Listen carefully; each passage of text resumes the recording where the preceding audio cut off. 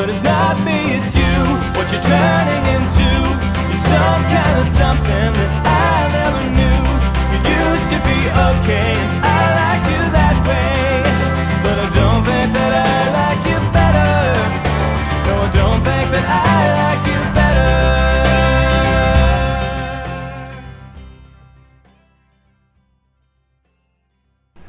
Hey everybody, John Fessmeyer here, MFA candidate at Academy of Art University, working on Bodacious Creed, which is the title of my thesis. I'm getting my master's in 3D modeling.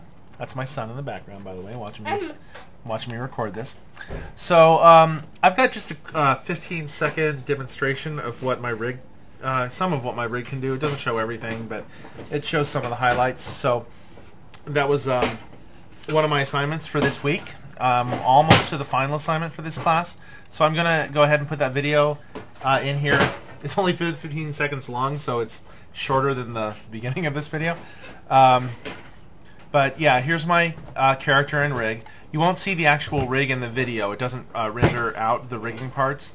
And instead of putting his actual skin texture on, I decided to just go ahead and use use use the uh, uh, blend shader um, to make it simple because really all I'm, I wanted to show off is the rigging. So uh, without any further ado, I'll go ahead and uh, put this in there. So uh, enjoy.